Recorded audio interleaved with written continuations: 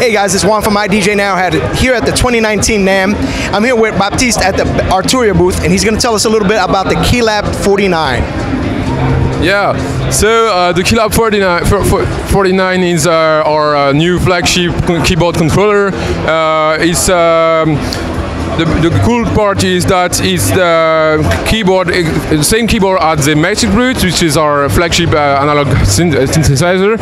Um, you have uh, control as our uh, all our, our controller to control uh, any MIDI parameter, but also all of our software. And the cool part is that it's integrated deeply with our software, so you can just plug it, launch one of our software, and it's already mapped, so you can do whatever you want uh, directly.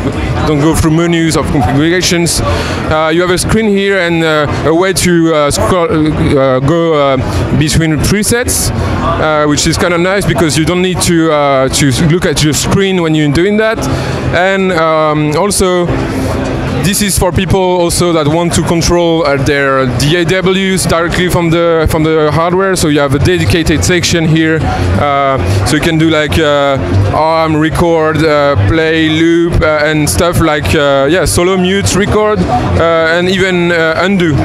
And we have several layouts for this section, so you can adapt your DAW needs. For example, Ableton Live or Pro Tools or Logic. We have a, a sheet that comes upon that to adapt for uh, any DAW. And uh, the last, we have some pads because uh, it's nice, always nice to program drums directly from uh, from that.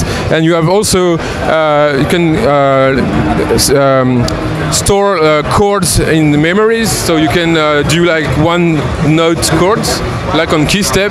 So that's quite nice, yeah. And that's it. I appreciate it, Baptiste. Thank you so much for giving us the information on the Keylab 49 MK2. Again, if you have any questions, leave it in the comments. Always check us out at idjnow.com. Thanks.